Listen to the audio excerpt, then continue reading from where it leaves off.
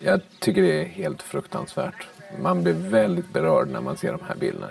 Genom att anlita eh, leverantörer med barnarbete på det här viset så låser ju eh, Stora Enso de facto fast barnen i ett, i ett system. Deras liv är ju fastlåst i den här eh, sörjan.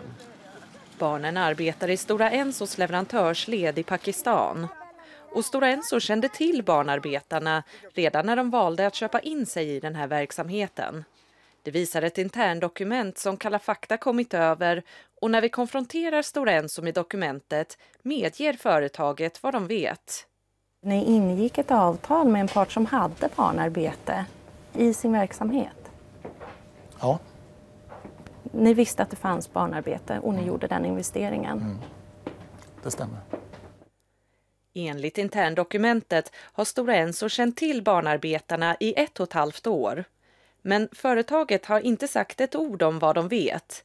I deras hållbarhetsrapport skriver de istället During 2012, Stora Enso was not involved in any instances of child labor.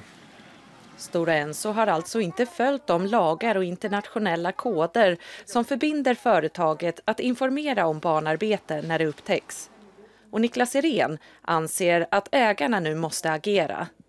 Ägarna måste ju sätta stort tryck på, på Stora Enso. Det här är oacceptabla bilder, oacceptabla förhållanden och, och då måste ju ägarna med den makt som de har visa för Stora Enso att de inte tolererar det här.